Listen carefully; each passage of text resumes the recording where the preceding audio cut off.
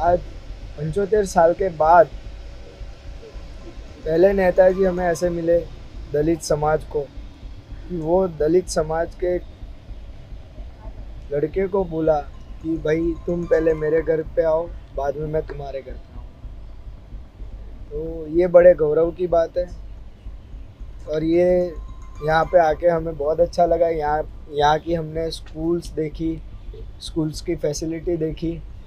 Hospitals देखे बहुत अच्छा लगा हमें ये सब देख। सोलंकी जी और उनके परिवार के लोग उनकी बहन सुहानी उनकी मदर लता जी आ, मेरे घर पे मेरे आमंत्रण पे आ, हमारे साथ खाना खाने के लिए आए। आ, मेरे पूरे परिवार के साथ बैठे और आ, हमने साथ लंच किया। हमें बहुत अच्छा लगा हमारे परिवार को भी बहुत अच्छा लगा।